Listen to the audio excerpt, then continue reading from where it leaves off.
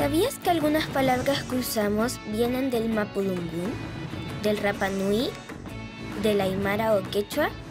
¿O son propias de un lugar? ¡Abre palabras! ¿Has escuchado la palabra bagual?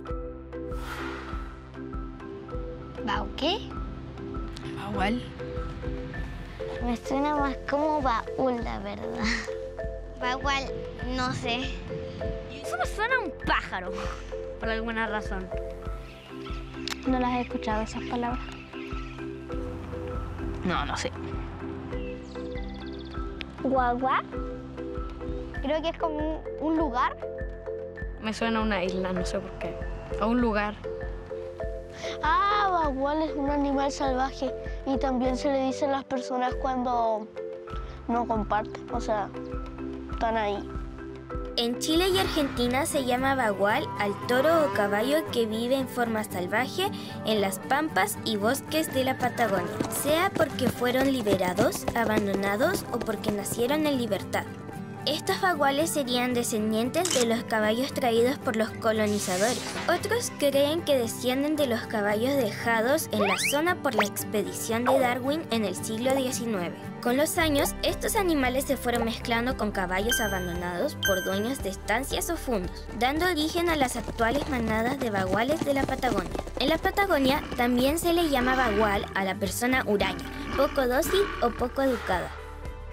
La primera vez que vi un guagual me dio mucho susto. Porque no tenía que hacer, no tenía para dónde arrancar, nada. La primera vez que vi un guagual, yo no sabía que eran así como ariscos. Y este eh, después como que se pusieron medios, como medios, así como medio salvajes. Es como emocionante ver esos caballos como corren. Es- estar atajándolo para que vayan a la parte que tú quieras. eh, dejarlo en un corral. Y eso. ¿Te imaginas lo que significa huiña? Guiña. Suena como piña. Yo me imagino que guiña es como un tipo de ave. Yo creo que son como los camellos. Pero tienen harto, harta lana, algo así. ¿Un fruto? ¿Un animal? O un ladrón. que roba. Sí, que roba. Que es como un lance. Que siempre anda ahí metiendo la mano a sacar algo.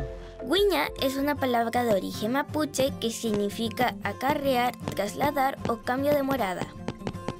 La huiña es un pequeño gato montés, escurridizo y difícil de localizar. De ahí su nombre.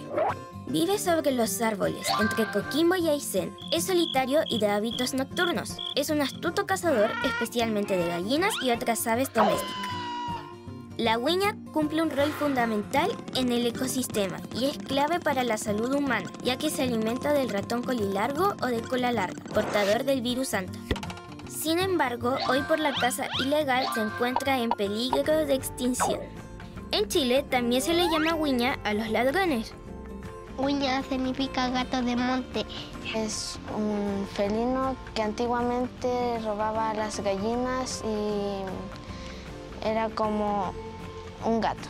Viven en los cerros por ahí. y trepa árboles. Entonces cuando ve que no hay nada, eh, salta y pilla un pollito, una gallina y se los lleva y después se lo come. De hecho, mi abuela dice, dice que vio uno una vez.